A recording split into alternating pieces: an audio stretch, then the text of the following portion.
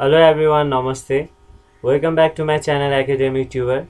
Today we are going to discuss chapter 6 from grade 9 science that is nature and environment. Before that, if you are new to this channel, please subscribe this channel and for more updates hit the bell icon. If you want more videos related to this, please like and do share these videos among your friends and don't forget to give your valuable response in comment section. Here in this unit, we are going to discuss about ecosystem, abiotic and biotic factors of ecosystem, components of grassland and pond ecosystem, food chain and food web, ecological interaction in our ecosystem. Ecology Ecology is the science of history of organisms of their habitat in the native environment. Ecosystem Ecosystem is the dynamic and delicate balance existing between the living and non-living components of the environment. The ecosystem may be as small as aquarium and as big as an ocean. The term ecosystem was first proposed by a British ecologist A.G. Tansley in 1935 AD.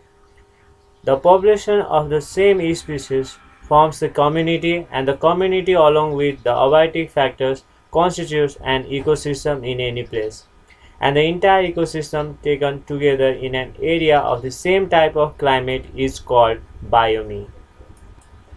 Components of ecosystem Ecosystem is composed of two components they are biotic and abiotic components. Abiotic components the non-living or the physical components of the ecosystem are called its abiotic components. It includes soil, water, air, temperature, pressure, rainfall, humidity, etc. Soil Soil is one of the chief abiotic factors which forms the surface of the earth. Plants are the main source of food for all living organisms and soil is the substratum of these plants. Soil is also habitat of many organisms. Plants take minerals from soil to produce their food. Water. Water is the basic need of all the living creatures on the earth. So it is also called that water is life as no life is possible without water. Water also provides habitat to millions of creatures in the world. Air Air is a mixture of different gases. Oxygen is the basic need of all living organisms. Carbon dioxide is used by plants for photosynthesis. Nitrogen is essential for growth and development of plants. Sunlight. Solar energy is the ultimate source of energy of all living organisms. The chlorophyll of green plants traps sunlight which is used for photosynthesis. All the climatic factors depend upon sunlight. Biotic components. All the living creatures from a unicellular microscopic organism to the gigantic multicellular organisms comes under the biotic components of the ecosystem. On the basis of their nutritional relationship, they can be classified into three main groups. They are producers, consumers, and decomposers. Producers Producers are the organisms that can prepare their own food by using the various abiotic components of the ecosystem. They are also known as autotrophs. Consumers. The organisms which depend upon others for their food are called consumers. They are also known as heterotrophs. Consumers can be divided into following. First one, primary consumers. They are organisms which directly feed on green plants or producers. They are herbivores. Example, protozoan, crustaceans, zooplankton, etc. in aquatic ecosystem and grasshoppers, rabbits, deer, ghosts, etc. in terrestrial ecosystem. Secondary consumers. These are the organisms which feed on primary consumers. They are also called carnivores. Example, dogs, cats, foxes, snakes, fishes, birds, etc. Tertiary consumers. These are the organisms which feed on secondary and primary consumers. They can't be preyed upon further by other organisms. So they are also called top level consumers. Example, tigers, lion, crocodiles, whale, etc. Decomposers. These are the microscopic organisms which break down complex organic compounds into simpler compounds so that simpler compounds can be reused by plants for synthesizing their food. They are called saprophytes. Example bacteria, fungi, and some other microbes. Interrelationship between the biotic and abiotic components of the ecosystem. Producer, consumers, and decomposers are the biotic components of the ecosystem. They are interrelated with each other to form the ecosystem. The producer use biotic, abiotic components to make or synthesize their food. Herbivores or primary consumers feed on green plants. Similarly, carnivores feed on herbivores. When these living components die, the complex organic matter is converted into simpler form and is mixed up in the soil. This process is done by decomposers. The producers absorb these organic substances from for their growth and development. In this way, there exists a very close relationship among the abiotic factors, producers, consumers, and decomposers of the ecosystem. Autotrophic organisms. Autotrophs are the organisms which can prepare their own food using the various abiotic components of the ecosystem. They are also known as producers. Heterotrophic organisms. Organisms that cannot prepare produce their own food by themselves and therefore depend upon other organisms for their food are called heterotrophic organisms. Heterotrophic organisms have different mode of nutrition: parasitic, saprophytic, or holozoic. Parasitic nutrition. Organisms that completely depend upon the body of other living organisms for their food are called parasites.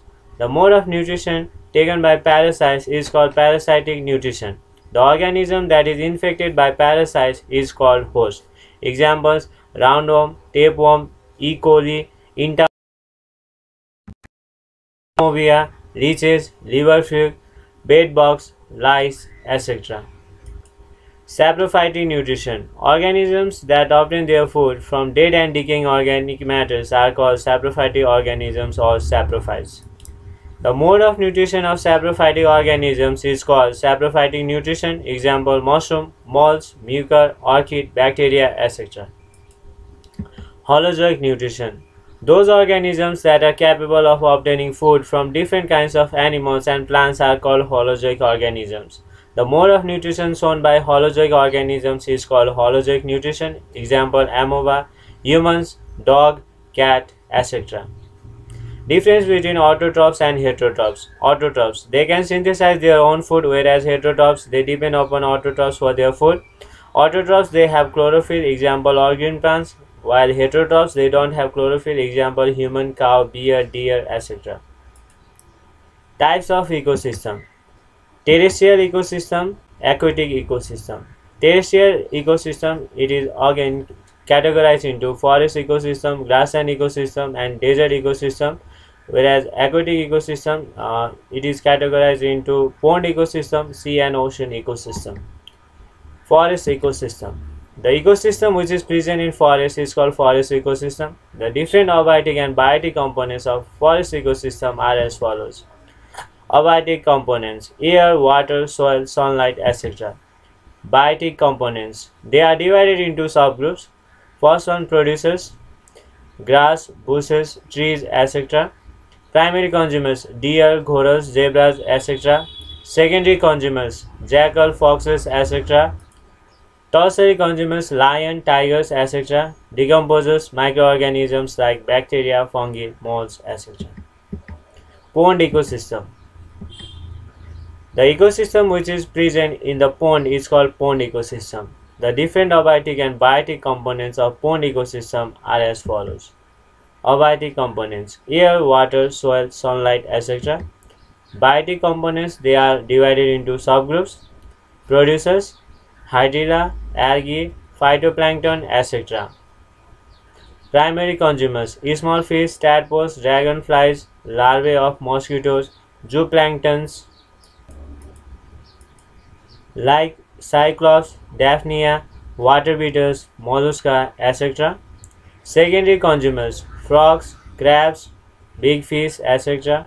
Tertiary consumers, snake, decomposers, microorganisms like bacteria, fungi, molds, etc.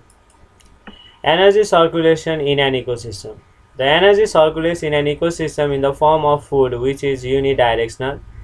The solar energy is the main source of food in an ecosystem. It is used by green plants the food prepared by green plants is circulated through primary consumers, secondary consumers, tertiary consumers, decomposers, and finally to the soil. In this process, food chain and food web is formed. Food chain.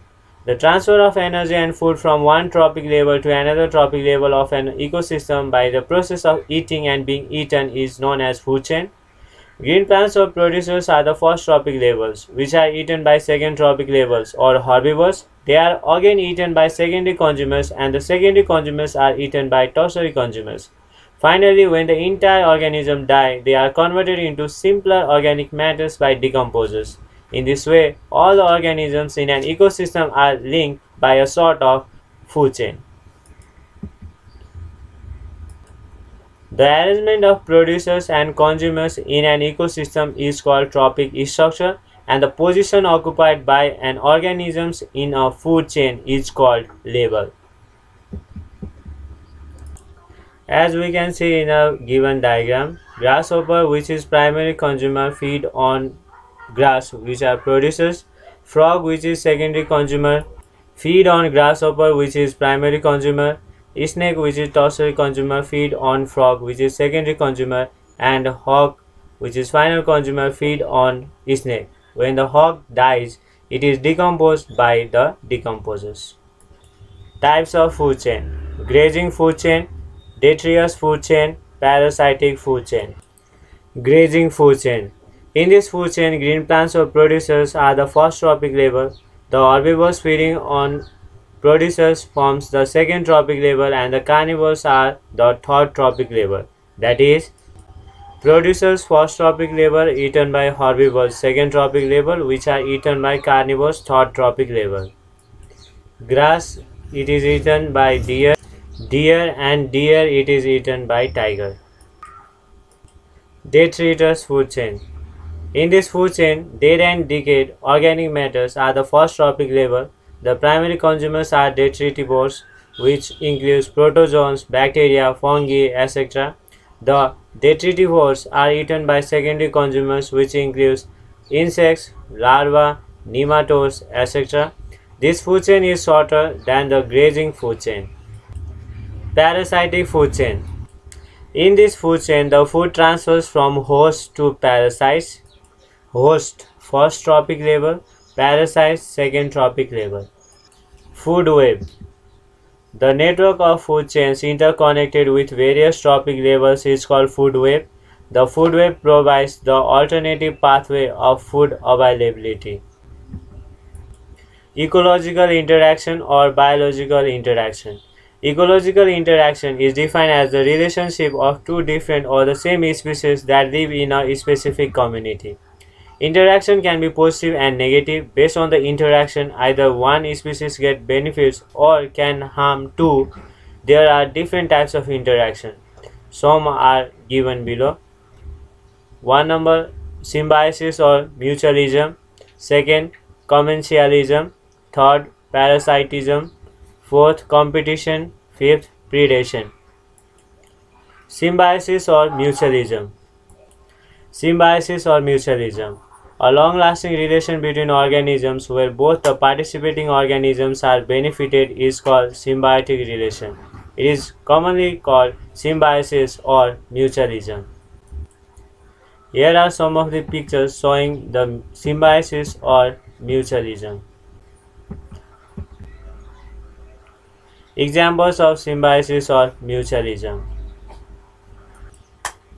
Bees fly flower to flower to collect nectar for their food. Here, plants are also benefited as pollination occurs in them. There are few bacteria found in our digestive tract which support us in digestion.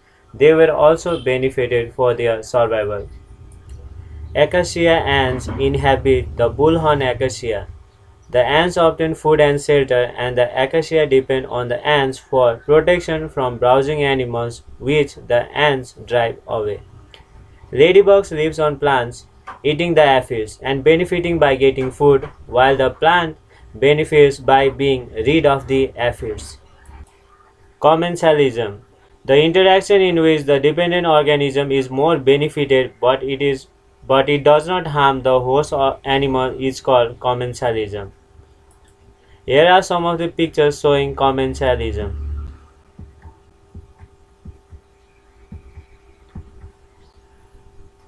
Spider makes web in a tree to survive safely, but the spider web does not harm the tree. Nurse plants are larger plants that offer protection to seedlings from the weather and herbivores, giving them an opportunity to grow. Tree frogs use plants as protection. Golden jackals, once they have been expelled from a pack, will trail a tiger to feed on the remains of its kill. Goby fish live on other sea animals, changing color to blend in with the host, thus gaining protection from predators. Cattle egrets eat the insects stirred up by cattle when they are grazing. The cattle are unaffected while the birds gain food. Parasitism The organisms which completely depend upon others for food are called parasites. The organisms on which parasite depends are called hosts. The relation between the parasite and host organisms where the host is harmed and the parasite is benefited is called parasitism. Examples Tapeworms are segmented flat worms that attach themselves to the inside of the intestine of animals such as cow, pigs, and humans. They get food by eating the host partly digested food, depriving the host of nutrients. Fleas harms their host such as dogs by biting their skin, sucking their blood, and causing them to itch. Aphids are insects that eat the sap from the plants on which they live. A parasitic fungus causes wheat rust and the downy mildew fungus attack fruits and vegetables. Competition Competition is the relationship between organisms that strive for the same resources in the same place. The resources might be food, water, or space. There are two different types of competitions. Intra-specific competition. Intra-specific competition occurs between members of the same species. For example, two male birds of the same species might compete for mates in the same area.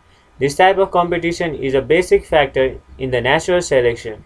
It leads to the evolution of better adaptation within a species. So here in picture as well we can see two zebras fighting for the same grass and two lion they are separate, uh, fighting for a territory. So such type of competition is known as intra-specific competition because they are the member from the same species. Competition is inter-specific competition.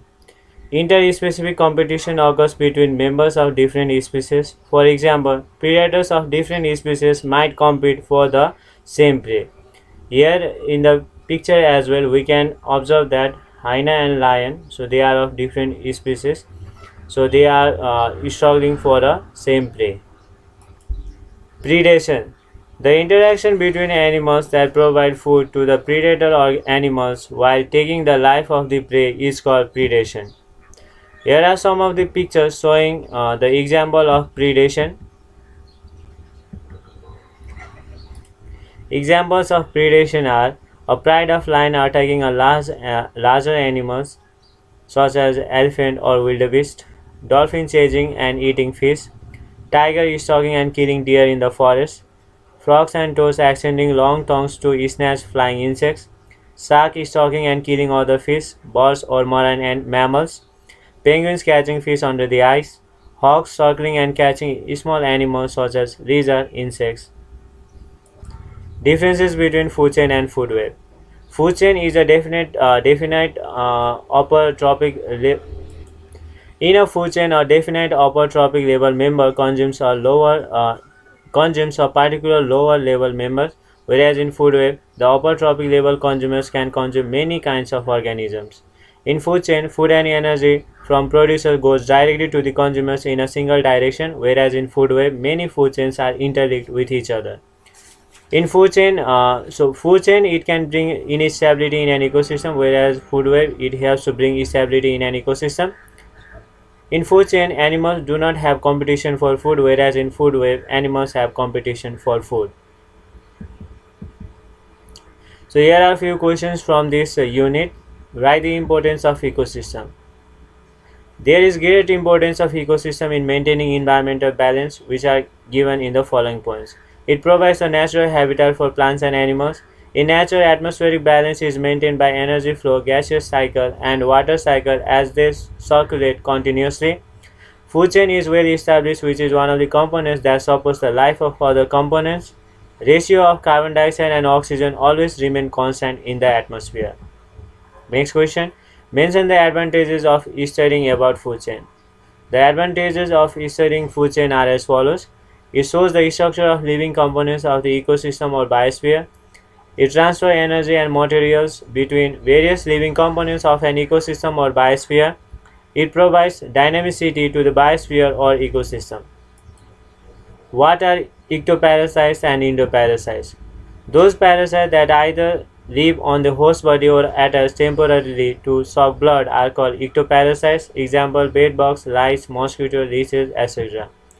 Those parasites that live inside the host body and derive their food from them are called endoparasites. Example tapeworm, hookworm, roundworm, plasmodium, etc. Next question. Describe the roles of decomposers in an ecosystem. The role of decomposers are mentioned below. First, they act as a cleansing agent of the environment by decomposing dead plants and animals. They help in recycling the nutrients. They provide space for new beings in the biosphere by decomposing the dead. They help put back the various elements into water, soil, and air for the reuse of producers like crop plants. Next question. The population of producers is more than the population of consumers. Why? The producers are the organisms which produce food and the producers are consumed by the consumers in the food chain. The density or population of the producer is expected to be more as to feed the large population of the organisms at the higher trophic levels. If the population of the producers decline, then this will cause a decline in the consumer population due to lack of food. Next question. Each member of each trophic level is important for an ecosystem. Why? All the members of each trophic level are closely related and responsible for the control of the number of organisms of other trophic level.